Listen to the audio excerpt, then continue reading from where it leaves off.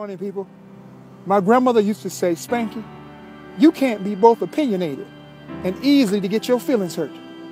You need to pick a lane. Well, Grandma, I think you know which one I selected.